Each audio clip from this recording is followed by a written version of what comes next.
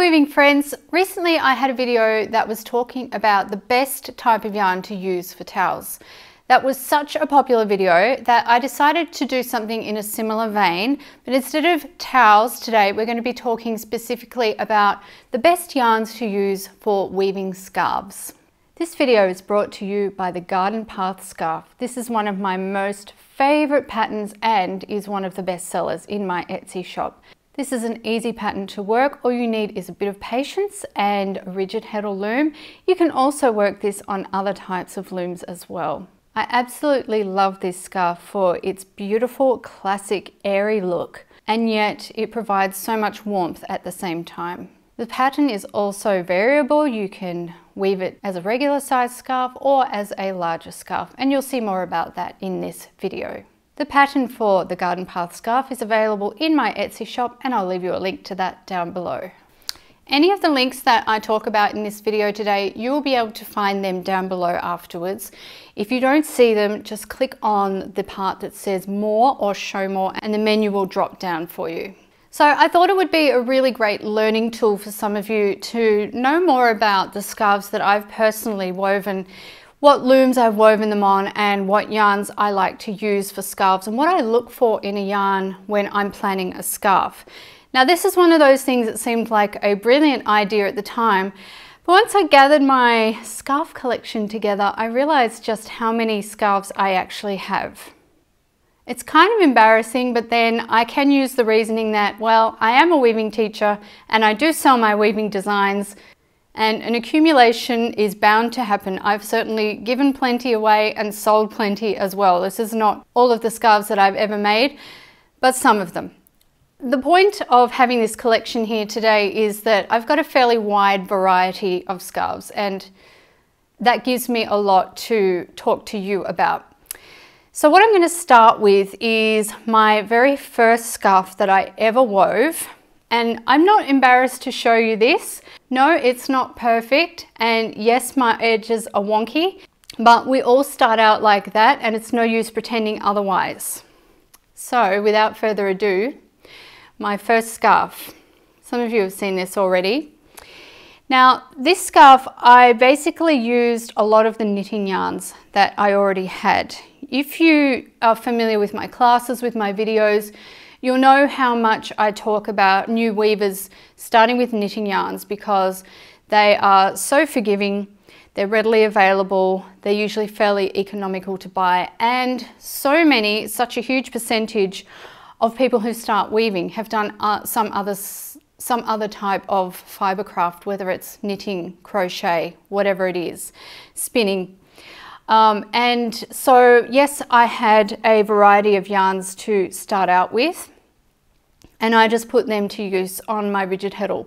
So I started out with this lighter purple that is a DK weight wool and I warped up with that. I didn't do a very long warp. I had really no idea how long a, a scarf should be or how long the warp should be for a scarf or anything like that at that time. Obviously I've learned a lot since then. But uh, then I just started taking all these different yarns from my stash and trying them out. Now that was a really good exercise for me.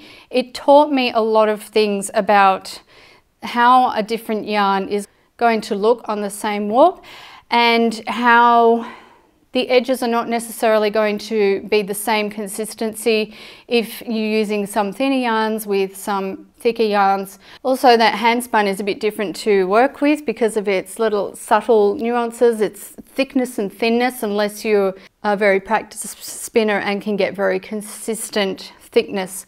But I was very pleased with how this scarf came out in the first place as my very first piece and I have worn it quite a bit since.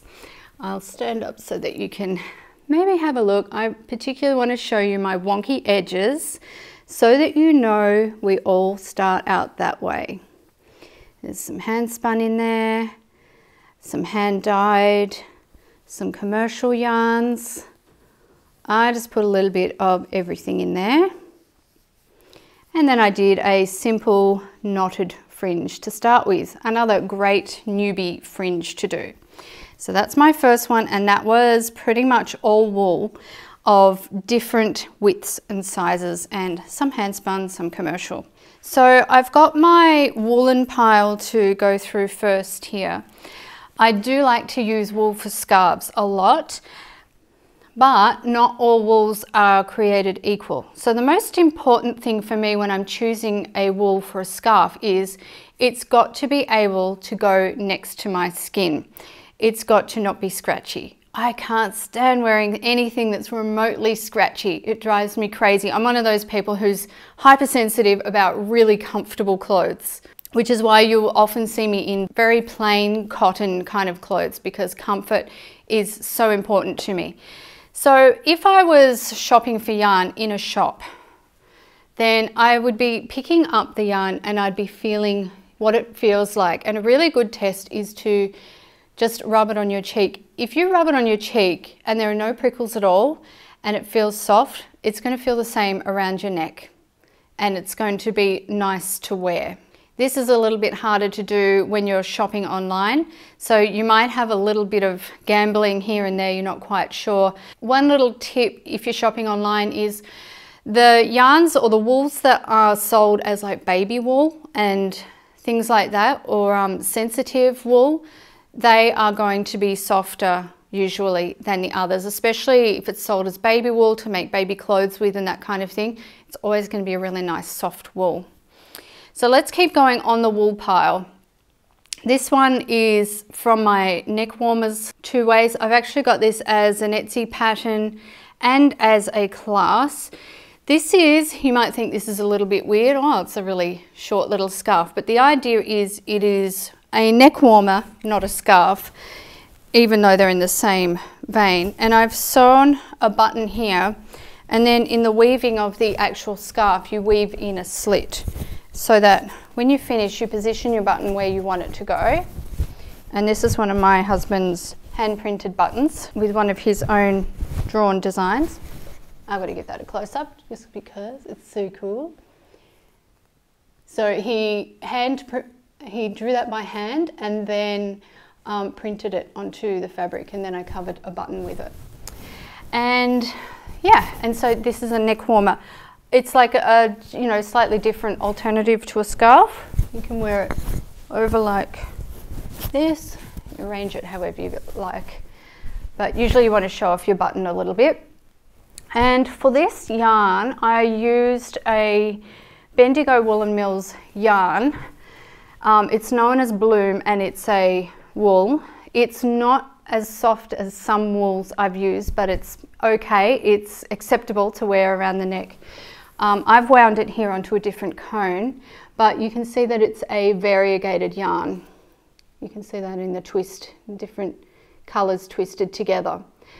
And it also has a sort of a gradient, you know, the colour shifts as you go along and you can see that in places like this where the colour gradually shifts. So it's on a solid warp and then the weft is all the colour.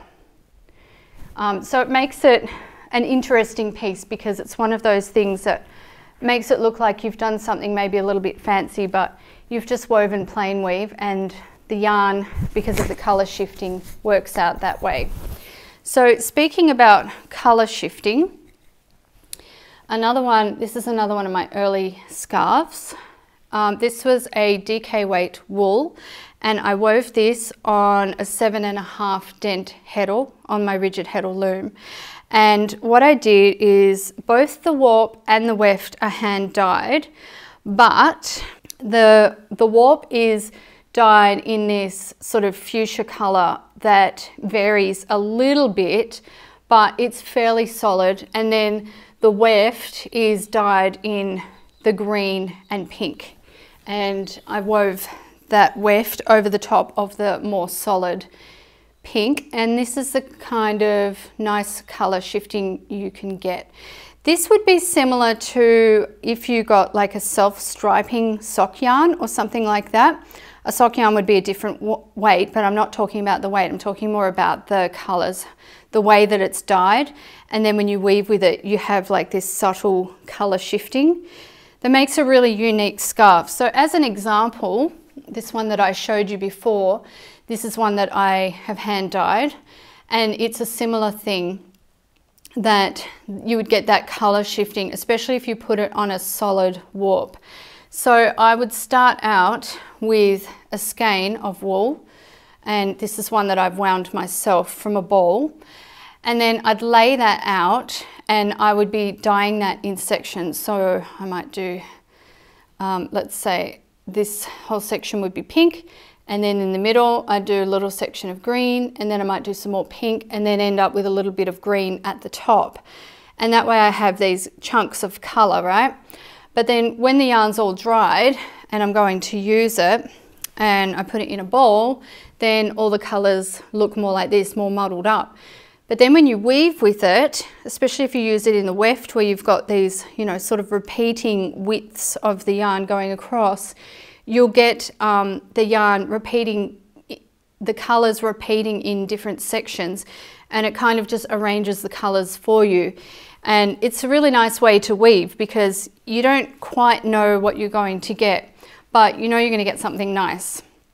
I really like to cross that with a solid warp because if I crossed, say if I had the warp and the weft and I crossed these colours, um, it'd become a very busy piece and I wouldn't be able to see those little pools or sections of colours as easily.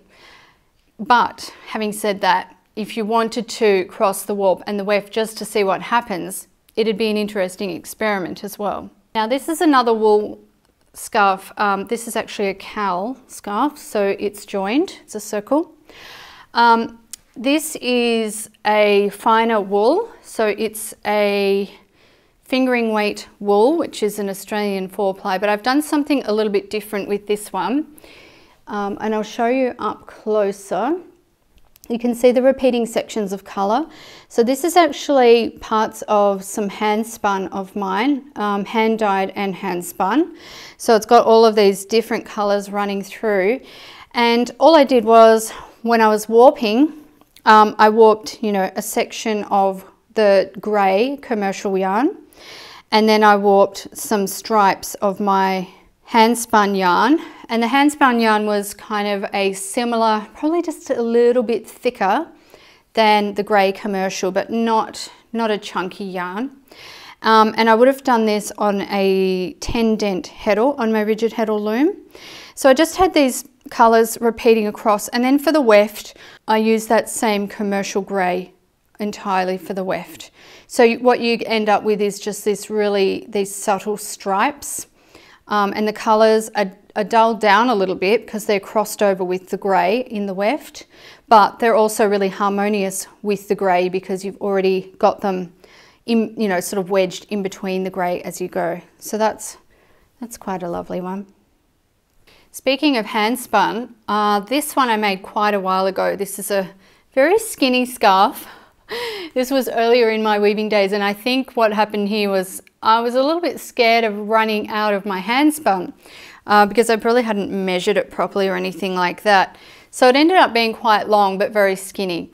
And this one I hand dyed the wool first, then I spun it and then I wove it into this scarf. I believe this was my first hand woven, hand dyed, hand spun piece.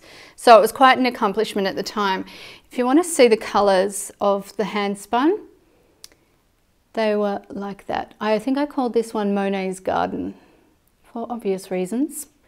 And this is one where I actually crossed the warp and the weft and the colours didn't come out too busy, um, just sort of variating throughout. Again, this is quite nice and soft. Um, that's one thing about hand spun is you can spin it to be softer and you can choose the kind of fibre blend that you want to have if you're really into spinning. So because I've shown you a couple of pieces with hand spun incorporated, I thought you might also be interested to see some hand dyed roving alongside its hand spun yarn. So um, over here I've got the roving that I've dyed in various colours and then I believe I used fractal, the fractal spinning method to make this yarn. You can look that up if you want, but it's basically arranging the, the colors, um, breaking the roving off in sections so that the colors arrange in particular ways. It's a really nice way to spin. Um, if you want me to talk, if you're interested in spinning and you want me to talk more about that in another video, I'd be happy to do that, just let me know. I'm no expert on spinning and I definitely don't get to do it nearly as much as I would like to these days, but I still have my spinning wheel sitting there for whenever I want to.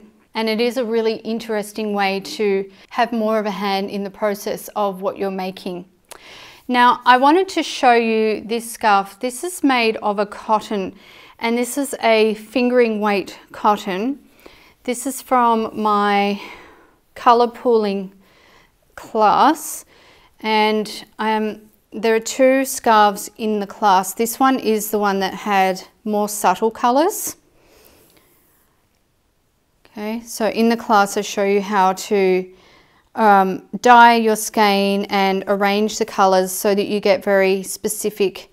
So the other, the other scarf that I was showing you that had the hand dyed colors in sections, um, they were in the weft, so they were sort of going that way. And these colors are shifting sort of this way. So it's a different effect, longer color shifts. It's a really lovely way to do it. So the reason I wanted to show you this scarf is because it is made of cotton.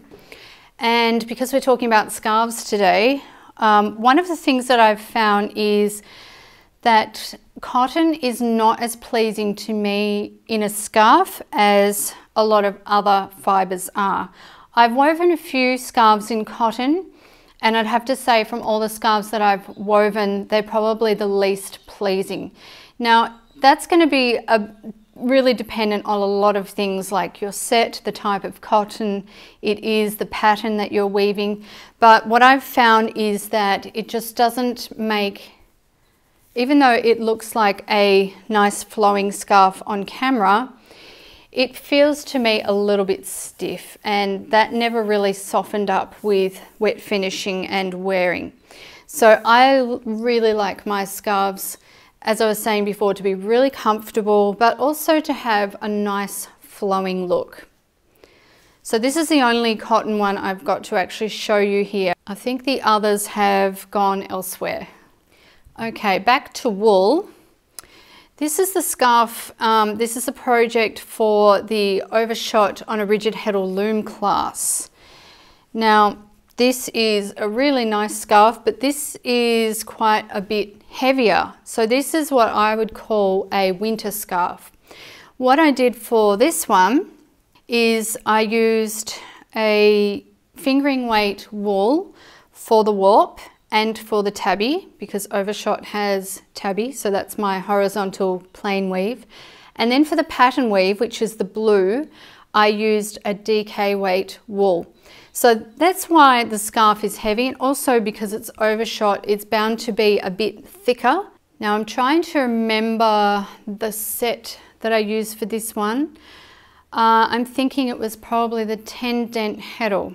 It's a bit hard to remember, but I'm thinking if I used fingering weight warp, then it was probably the 10 dent heddle. And so that, that makes a sort of denser scarf as well because that pattern weft with the DK weight is fairly thick. But this is a really gorgeous and very substantial scarf. I'll bring it in so that you can see the pattern properly. It's like a Star of Bethlehem. And then on the back, the back's slightly different, but there you can see the two. This is the front and this is the back. So it's a fully reversible scarf. Now we have to talk about my absolute fave to wear. So this is my garden path scarf. This one is actually like a larger version of the garden path scarf. So when you buy the pattern for this, there are instructions for a regular size scarf, but you can actually upsize it if you want to. And that's what I did for this one because I really wanted a winter scarf that I could wear around the property all day long and it would keep me nice and warm. And that is, this is really my most worn scarf. It's so long and wide. So I've made it, it's almost like a shawl in its width and length. Let's have a look at that. But it's really so, even though it's airy, it's really, really warm to wear.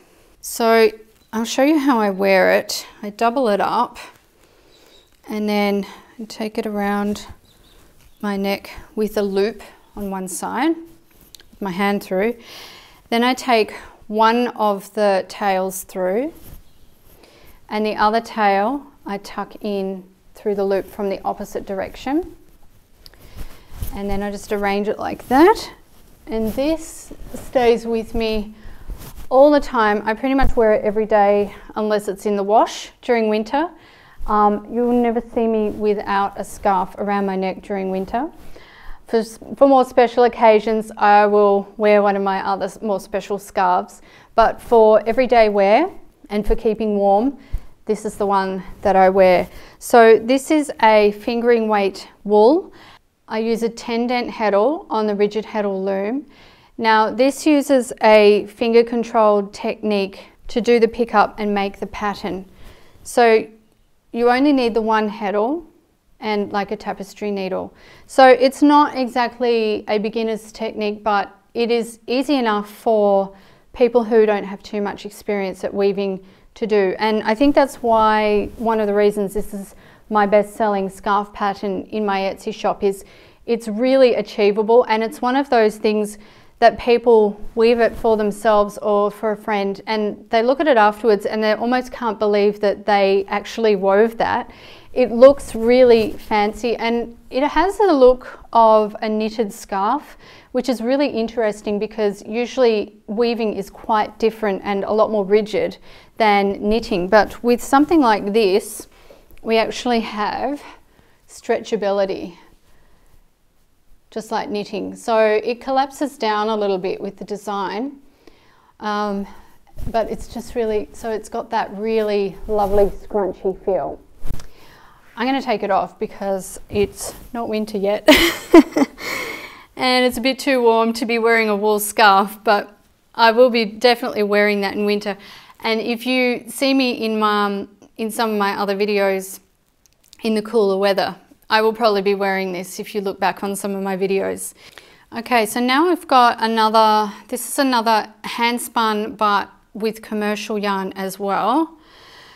So this hand spun um, I did in really bright colors and, and then I paired it with a solid black warp. If we have a close look in, this is a pickup pattern of kind of diamonds and then if you look on the back, you can see mostly the hand spun.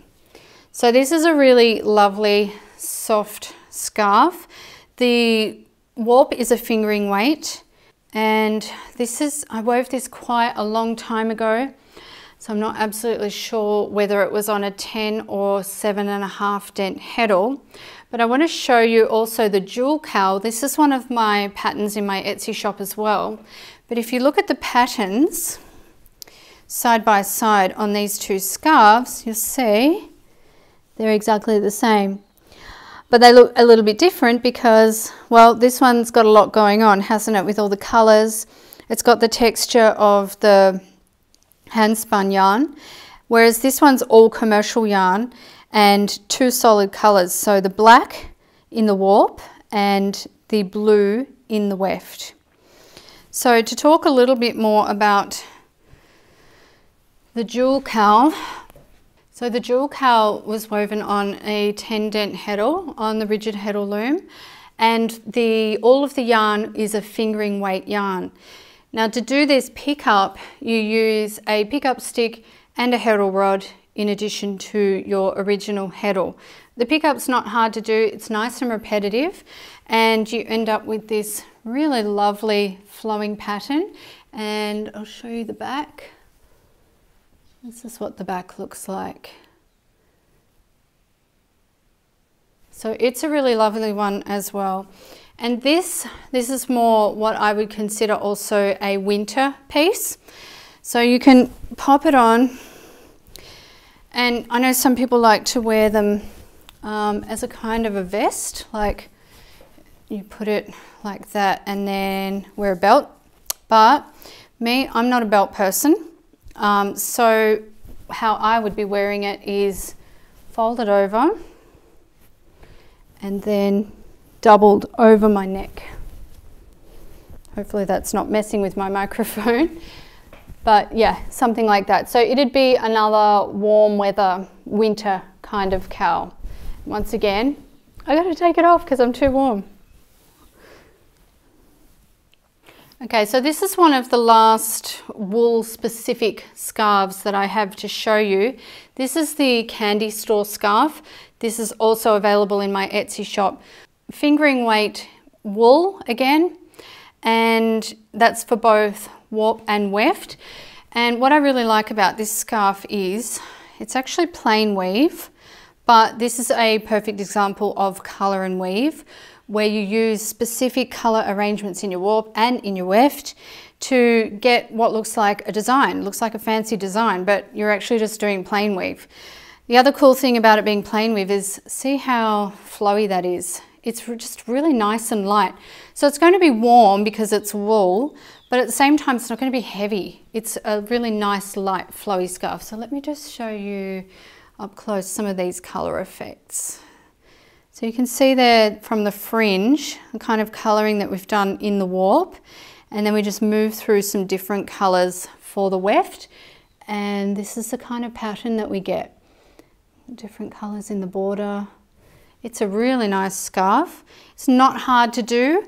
The only thing that is a little more challenging for this one is um, the colours for the warp will take you a little bit longer to set up, but that's, that's about it. It's very plain sailing once you're weaving. I'm not sure if I mentioned it's a 10 dent heddle with that fingering weight wool.